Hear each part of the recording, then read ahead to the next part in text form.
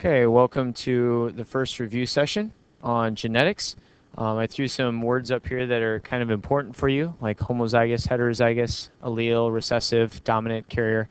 All these things are terms that you definitely need to know, and the AP expects that you know those right off the get-go. Um, I think the only one that sometimes tricks up people is the carrier component.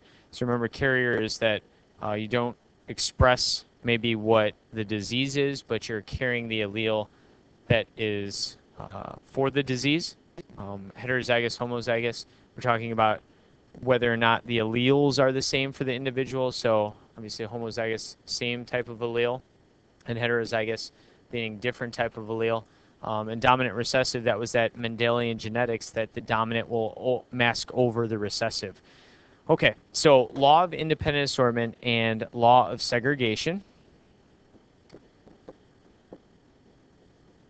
Are some of the first laws that are applied to Mendelian genetics, and we'll talk about law of segregation first. This is simply saying that when those homologous pairs, like the ones that are drawn up here, line up in the metaphase plate and they proceed to anaphase, one chromosome moves one way and one chromosome moves the other way on both sets, and that the gametes that result will only get half the information that they should have if they were doing mitosis, right? We want the gametes to be haploid, not diploid.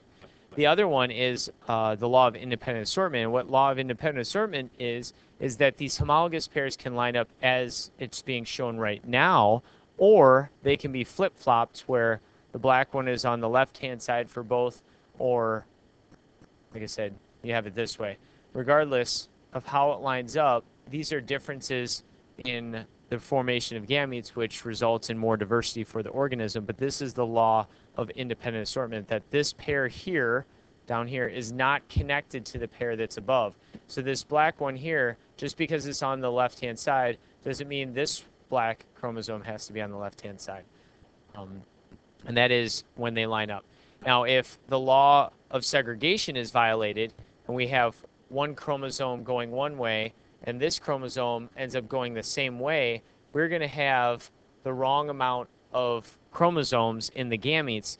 This chromosome or this gamete over here on the left-hand side will end up having three chromosomes in it instead of two. So this would be an N plus one gamete.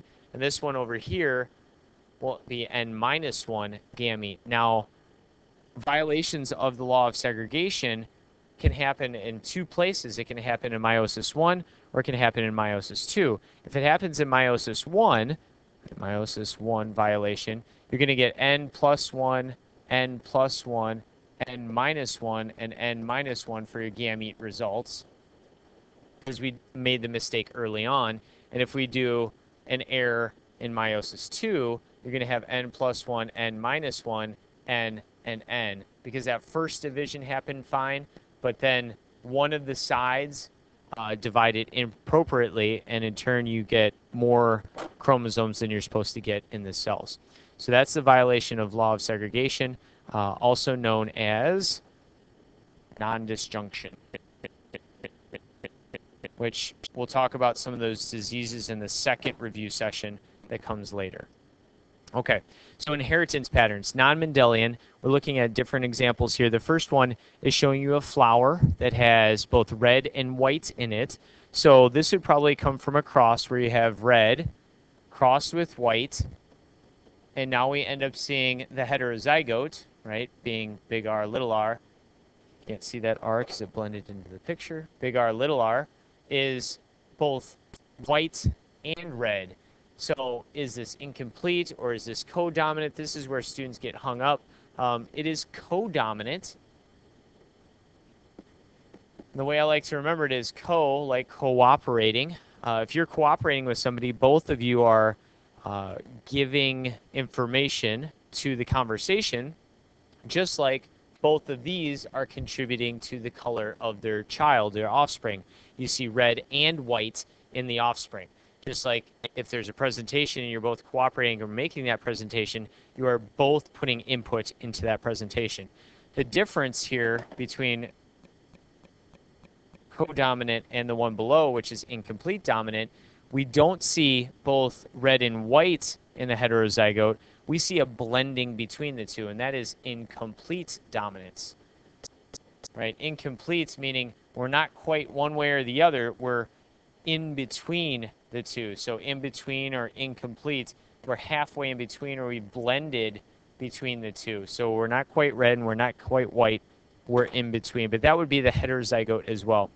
And notice that in codominant or incomplete dominance, you're going to see the 1 to 2 to 1 for phenotypic ratios, whereas if it was a complete dominance, it would have been a 3 to 1 ratio. Right, so that's a big one, and that shows up on tests. Which one of the following crosses would cause a 1 to 2 to 1 uh, results in the phenotype ratio, and codominance and incomplete dominance would be your answers for that. Okay, come back to the crosses in a second. Here we have polygenic and pleiotropic. In polygenic, oh, this is left over. Sorry, I was practicing beforehand.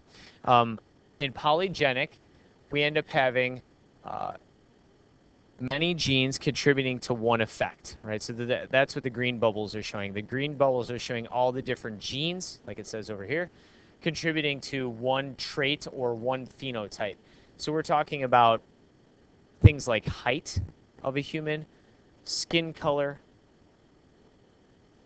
right? Eye color. Something where you see a lot of variety in that phenotype when you're observing it among a population is probably going to be polygenic. And there's a lot of genes in humans that work this way. And in turn, you end up seeing, if we're looking at distribution of the traits, you're going to see somewhat of a bell-shaped type of curve. But it doesn't always have to be that way. We'll talk when we get to evolution unit. It really depends on what is more beneficial for the environment.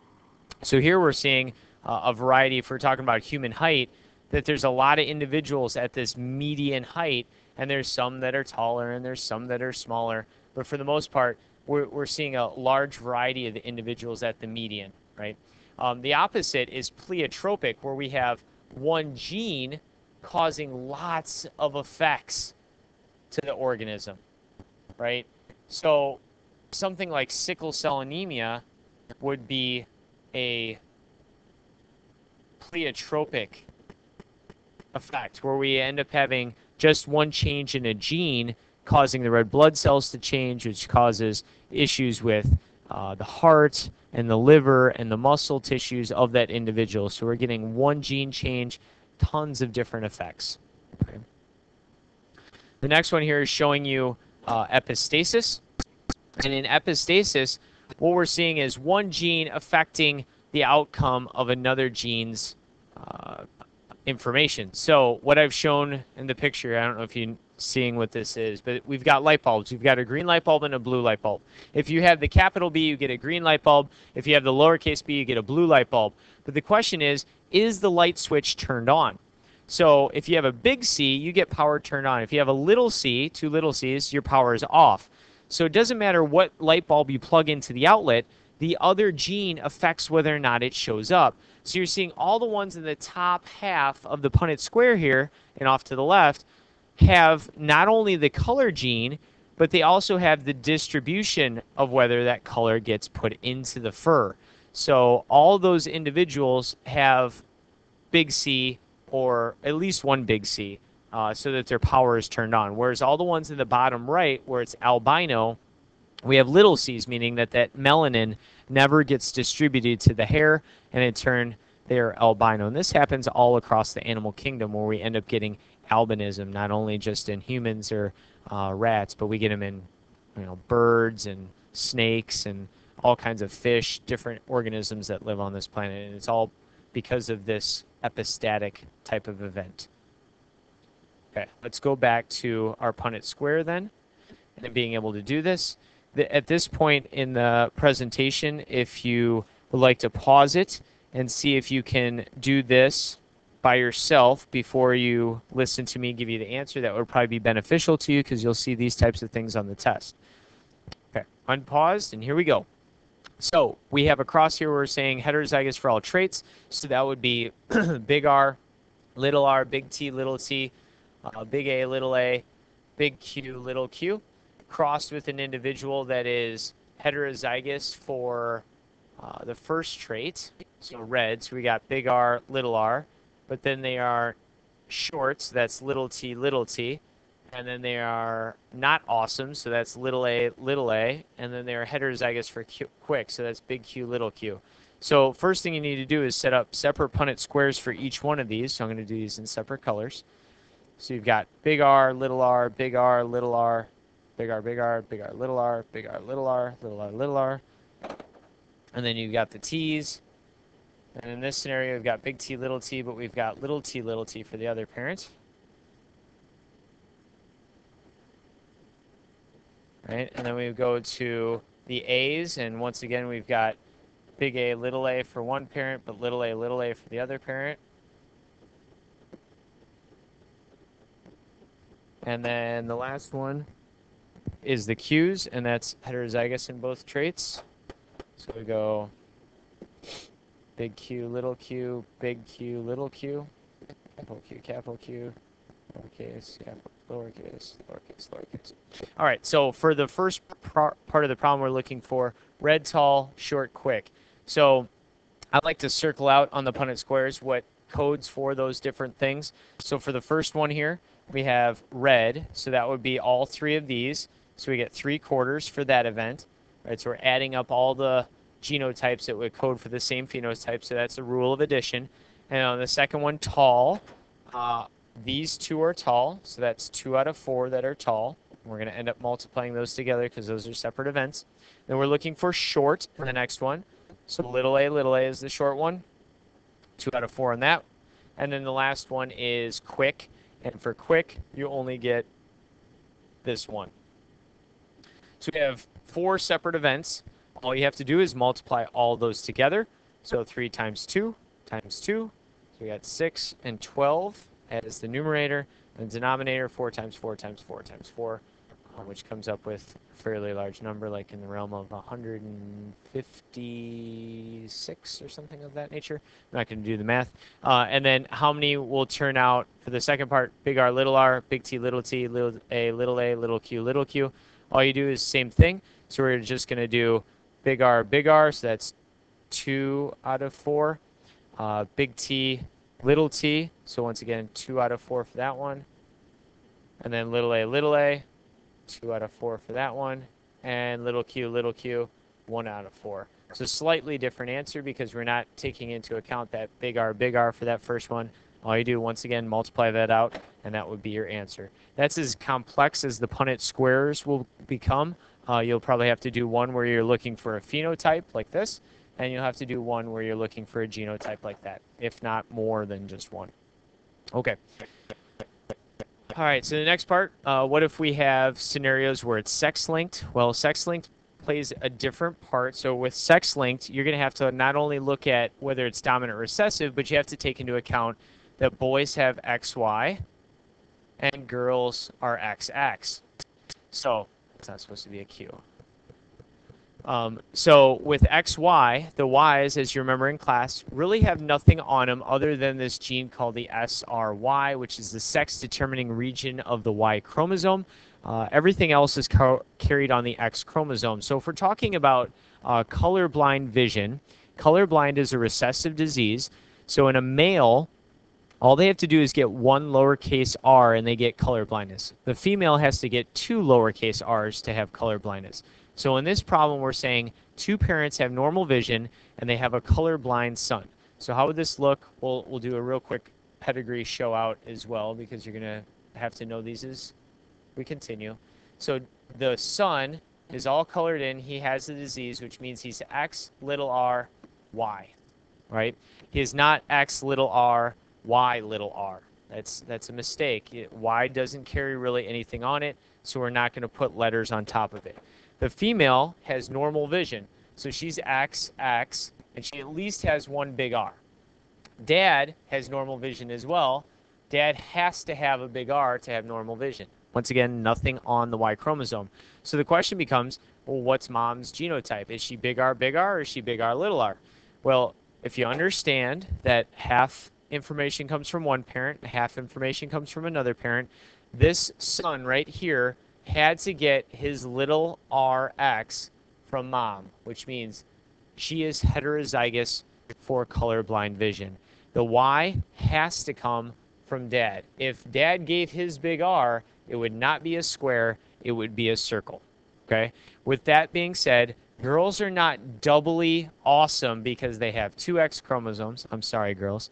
Um, you're awesome and everything, but not because you have two X chromosomes. Uh, because what happens is in the egg, the X, one X came from dad and one X came from mom, and it has information on it.